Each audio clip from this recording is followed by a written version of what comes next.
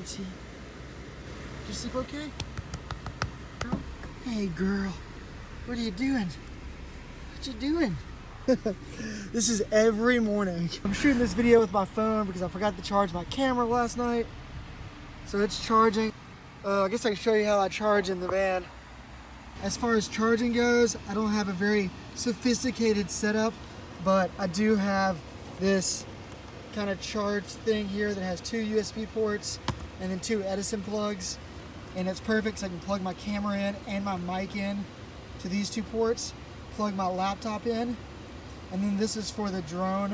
And I'll leave that charger kind of up front so that I can uh, switch the batteries over while I'm driving. Nancy sees a dog. Super simple curtain setup. It's just a number one inch spring clamp and then it's clamped to the end of a bungee cord on each side. Got a little sink, just a stainless steel salad bowl and like a little pump sink. So it has a pump option to get the water going. Also, it's got an electric pump for water. We got a five gallon water jug in the back. This is where my water jug is that holds my fresh water. And I wanted to set it up like this so I can just unscrew it, run a hose into it, fill it up, and then call it a day.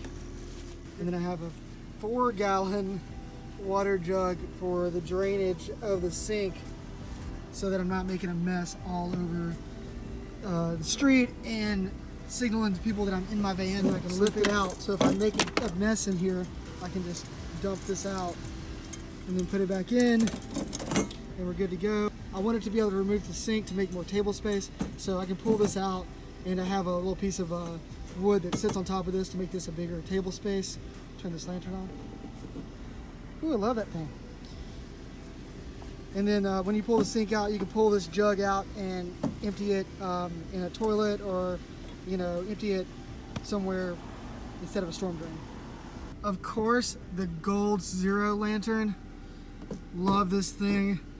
It'll charge your phone. It has really bright light on it that can run this for like three nights without charging it. And uh, it's just great. It's been coming in handy so much. This fan is sick. Have this because if I'm driving down the road, this will just, the wind will catch it and pop it open and make a bunch of noise. But yeah, it just exits the vehicle, sucks air out. It's pretty great. That is a awesome addition.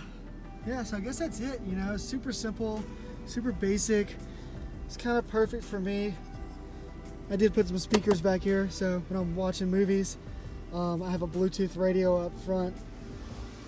Like, just my toiletry bag.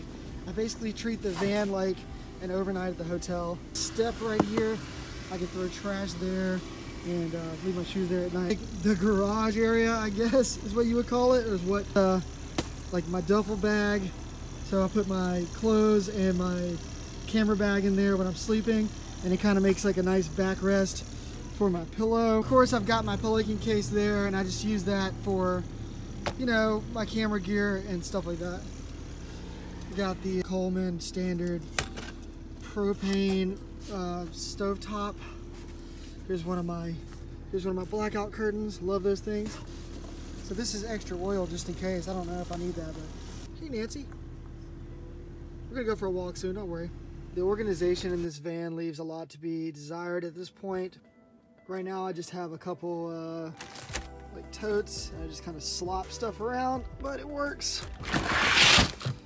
And in here,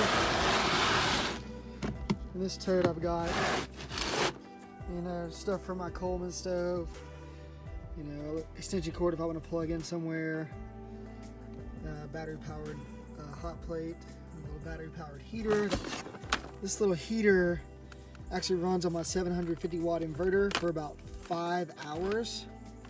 So that's nice to put on if it's cold out. It stays pretty warm in the van, even without a heater in the winter. But that little heater just makes it a little nicer.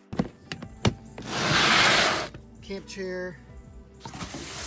Just a box here for throwing more stuff. These clips come in handy for rags and stuff. Just a little magnet. Love those. So if I pull my seat forward, you can see I've got a deep cycle battery back here as an auxiliary battery. And then there's my inverter. It's a 750 watt inverter and that plug runs to my charge port bank. Yeah, and it, it looks kind of bad right now. I need to get a box for it, but it's just running parallel through here, under there. It comes through the firewall, and it just runs into my battery, my crank battery. There's a lot of extra room under this hood because the engine's in the middle of the van. I think I'm gonna add another battery right in this spot here.